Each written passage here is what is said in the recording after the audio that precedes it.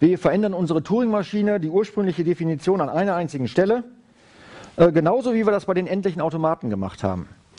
Ja, also aus der deterministischen Turing-Maschine, wo wir ein Viertupel hatten, bestehend aus Zuständen, äh, aus einem Bandalphabet, wir hatten eine Übergangsfunktion und ein Startsymbol. Ja, aus dieser Übergangsfunktion wird jetzt wieder eine Übergangsrelation. Ja? Statt jetzt nur einen Übergang aus dem, ähm, aus dem Tupel Zustand und Zeichen zu haben, haben wir halt jetzt eine Folge von Zuständen. Ja? Genauso wie wir das hier eben in dem Beispiel gesehen haben. Ja, hier bei, diesem, bei dieser Maschine, ja, an dieser Stelle beispielsweise haben wir jetzt, wenn wir in einem bestimmten Zustand sind, ja, und wir lesen ein A, dann können wir entweder hierher gehen oder wir können halt hierher gehen.